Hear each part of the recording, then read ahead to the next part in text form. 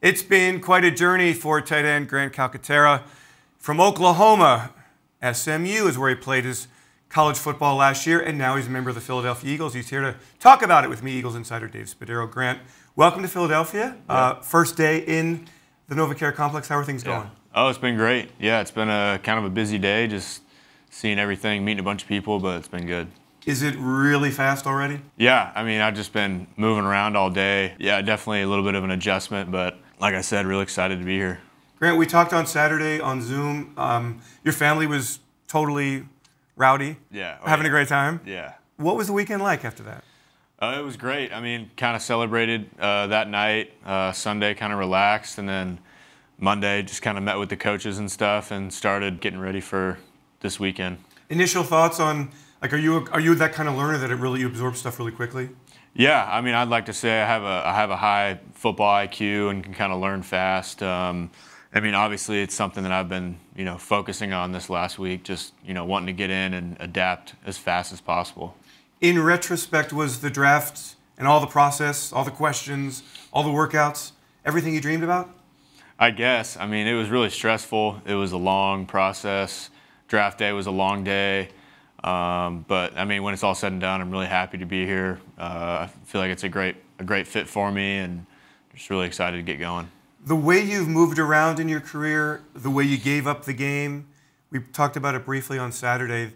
The appreciation that you have for being in this position. I mean, it yeah. really must make you feel great about kind of the decisions you've made along the way. Yeah, absolutely. I think uh, it gives me a whole new perspective, uh, a perspective that you know no other you know new draft guy has, and uh, I think it kind of sets me apart from a lot of guys, and um, you know just my willingness and um, my passion to be successful and you know win and, and play for a long time. I think is different from other people. So um, you know I'm really grateful for my for my journey. Is the passion deeper, more intense?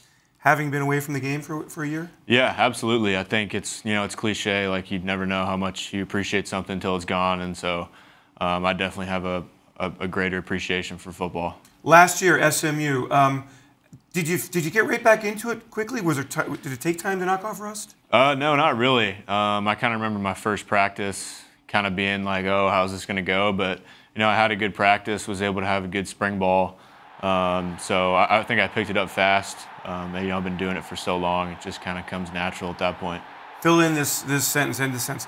To excel at tight end in the NFL, Grant Calcaterra must do what? Uh, be versatile.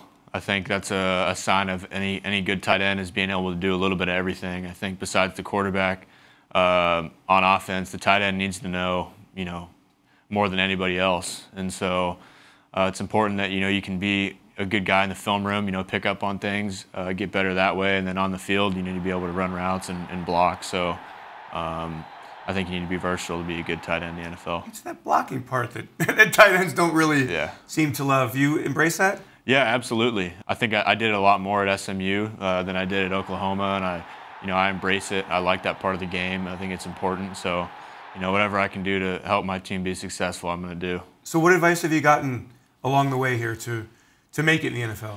Just kind of be a sponge. I think rookie year, everybody talks about, you know, it's kind of, it can kind of be stressful and, you know, it's an adjustment. And so just kind of be a sponge, you know, soak everything in, uh, you know, try to learn every day, try to improve every day. So I'm just kind of trying to take it day by day. Are there tight ends throughout your life that you've watched and said, I really love the way that guy plays?